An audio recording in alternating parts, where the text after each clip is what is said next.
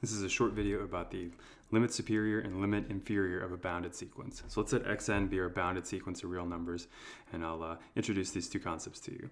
So number one, the limit superior of the sequence is defined as the following. So notation-wise, we'll say lim sup of xn. And so what is it? We're going to take the infimum of the following set. So we're looking at all real numbers v such that there exists some index capital N such that for all indices larger than that, the points in your sequence are less than or equal to v. So another way to think about this, what is this set? You're looking at all the possible upper bounds of some tails of your sequence. And uh, what we're going to do is take the infimum of that. So again, to give you a particular example, uh, here's a picture where again the y coordinates of the red dots are really my sequence xn. And I'm trying to say that for this tail from you know n onward, right, v is an upper bound for that tail. But what if I went a little bit farther to the right. So what if I copy and paste it, but now I go a little bit farther? Well, now this new number, v prime, is an upper bound for that tail. And so what we're doing, right, the limit superior, the lim sup, is the infimum of all these. So like, instead of v, maybe it's v prime here, right? And so again, assuming that the red dots, you know, maybe don't ever pop back up above there. So uh, what we've got then is it's sort of the smallest of the upper bounds of the tails of your sequence. So like eventually it's a supremum is what it says.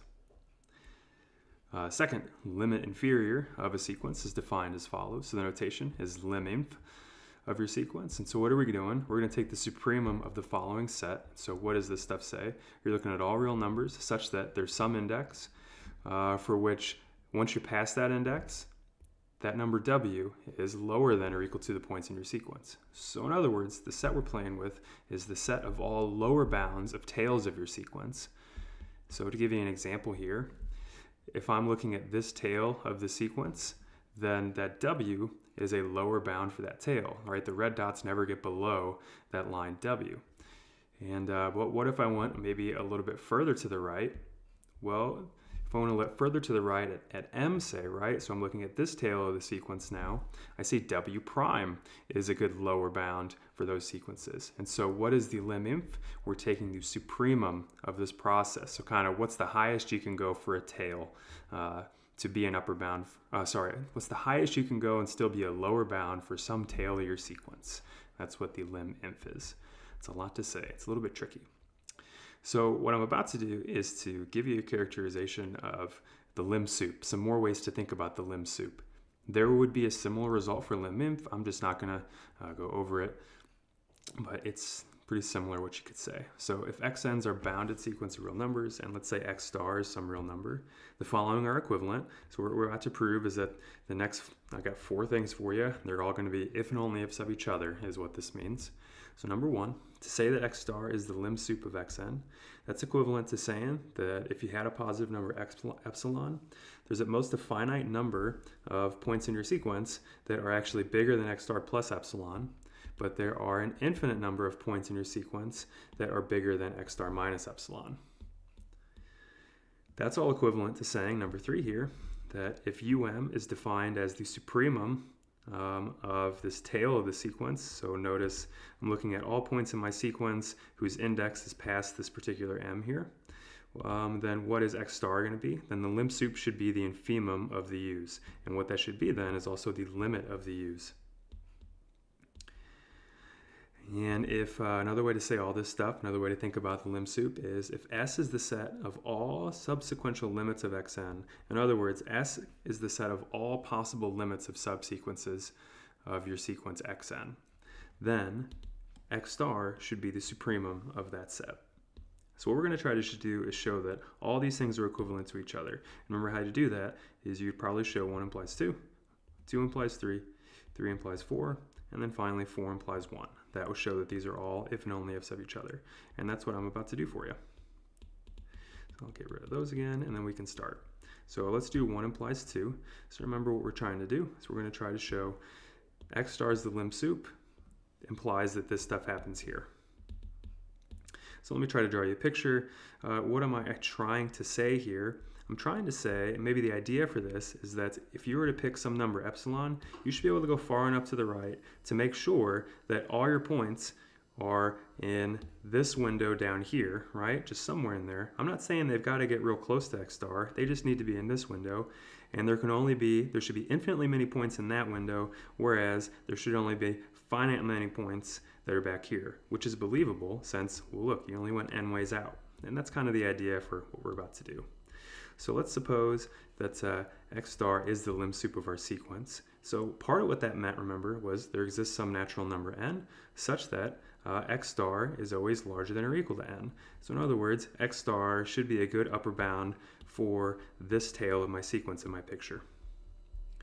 So then what does that tell me? Well, I mean, if x star is a good upper bound for those, well, I mean, this is a pretty good upper bound for those same dots, right? So what does that tell me then? Like I said before, if I'm only, you know, n units to the right, uh, what does that tell me? There's only n minus 1 possible points back here that could be higher.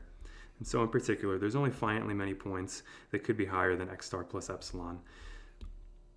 And that's what I wanted to say. So now how do I actually show that there should be infinitely many points in this window here? Well, by way of contradiction, what if there existed some index m so that uh, there are infinite many points, say, below this window, right? What would happen then? So what if there are infinitely many points below that window there? Well, then what would that mean? That would mean that x star minus epsilon should be an upper bound for some tail, right? Think about it. If I had infinitely many points down here, then that green line is an upper bound for that tail. Therefore, it should be a member of this set that I've highlighted here. But wait a minute, x star was the infimum of that set. So x star cannot be a lower bound for that set. Or, so, but that's a contradiction. So if x star is not a lower bound, then it can't be the infimum, and that's a contradiction. So thus, for any natural number m that you pick, you could always go maybe a little bit past m. Oop, that's not a highlighter. You should always be able to go a little bit past m to find a point in your sequence that's above x star minus epsilon. So since you could do that for any natural number, we're saying that uh, there should be infinitely many of these points, xn. And that finishes number two. So how do you do 2 implies 3? What's that look like? So suppose 2 holds, so given epsilon, then for you know an index m that's sufficiently big, we should have that um is less than x star plus epsilon. And what do we know that the, the infimum of these is, right? So the infimum should be the, uh, what, the greatest lower bound for the UMs here, right? So then that should be smaller than x star plus epsilon right? If, if the infimum's a lower bound for all these, well, then it's also smaller than x star plus epsilon is all I'm trying to say. So on the other hand, what do we know from before? There are infinitely many points in my sequence that are bigger than x star minus epsilon. That's part of the hypothesis of number two. Well, in that case then, that tells me that x star minus epsilon should be less than or equal to um for every single point in my sequence, since um is always the supremum of all the tails of xn. And so what does that say? That tells me now x star minus epsilon is a lower bound for all the UMs, but the infimum is the greatest lower bound. That's why the infimum of the UMs should be larger than or equal to x star minus epsilon. And so uh, in that case, what have we just showed? We just showed the infimum of the UMs is between x star minus epsilon and x star plus epsilon. Since epsilon was arbitrary, you can conclude that these quantities are equal. To do 3 implies 4, what was 3 implies 4 in case I don't want you to have to rewind. So if uh, x star is the infimum of these UNs, which is the same as the limit, then that should imply that x star is the supremum of all the subsequential limits. All right, so what we're gonna do is first, let's just show x star is the limit of some subsequence. In other words, let's show x star is actually an element of that set S. So uh, what we'll do is we'll kind of define a sequence in this way. So what is U1? U1 is the supremum of the first tail of your sequence. So all the points past the index 1. Well, if it's a supremum, right, remember that's the least upper bound, well then U1 minus 1, that's a little bit less than U1, can't be an upper bound for this set. Therefore, what does that mean? You should be able to find some points in your set that are between u1 minus 1 and u1. And what I'll do is I'll call that index, that point of your sequence, I'll just denote it by x sub n1. Now, we can continue this process, right? I could always do such a thing. Maybe you could do it kind of inductively. So what I'm saying I'm going to do is I'm going to define a whole subsequence where the points in my sequence are always uh, between uk minus a little bit and uk. And now the idea is what happens if you take the limit of all this stuff? Well, then by the squeeze theorem, if this thing goes to x star, since 1 over k goes to 0, and if this thing goes to x star, that tells me that the limit of this has to be x star.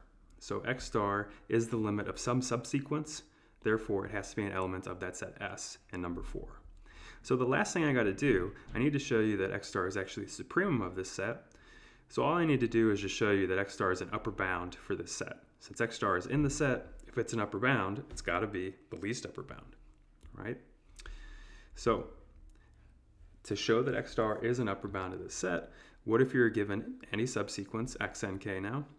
What do we know? I always know that nk is always at least what k is. So in particular, all the points in the subsequence are a member of this set, the points in your sequence, just whose index is larger than k, since nk is bigger than k, or, or equal to. Uh, so in that case then, I mean, what does that tell me? uk is the supremum of all these, right? Well, if each x and k is in there, then uk has to be an upper bound for all these as well, is what this inequality is trying to say. Therefore, if uh, this inequality is true for every single index k, then take the limit of both sides and you get lim x, the limit of the x and k's, the limit of that subsequence has to be uh, at most x star. So x star is an upper bound for any limit of any subsequence. So it's an upper bound for s. Therefore, it's the supremum. Finally, 4 implies 1. So let's let w be the supremum of s. And remember, s is all possible subsequential limits of my sequence. So if epsilon is some positive number, then remember w is like the an upper bound and it's the least upper bound, right? Uh, but again, it should be the biggest the biggest limit of any of the subsequences. So w plus a little bit cannot be the limit of sub subsequence. It cannot be an element of S. So what does that tell me then? Well, there should then exist some natural number so that once I get to the right of that natural number, the points in my sequence um, should be uh, less than w plus epsilon. So xn should never get really close to that. w plus epsilon cannot be a limit of any uh, subsequence of xn. So then what does that tell me then? Well, this is trying to say that, well, eventually w plus epsilon is an upper bound for that tail of xn. So therefore, w plus epsilon should be in the set of all upper bounds for tails of my sequence. But uh, wait a minute. What is the this set, right, it's bounded below by lim sup xn. Remember the definition of lim sup is the infimum of this set that I've highlighted. So therefore, lim sup, the infimum of that set, should be a lower bound in particular for any of its elements. In particular, it should be a lower bound for w plus epsilon since it's in that. So we've got one inequality here. Lim sup of my sequence is definitely less than or equal to w plus epsilon. So on the other hand, I'm going to try and show you that the reverse inequality is true with a minus epsilon here. So I pressed that the wrong time. On the other hand, by definition of S, right, all possible limits of subsequences of my sequence. And uh, what's W? W is the largest possible such limit. There's got to be some subsequence uh, whose limit is larger than W minus epsilon. So how come? Well, otherwise, W minus epsilon would be the biggest thing in S, not W. So that would contradict that W is the supremum otherwise. So what does that tell me then?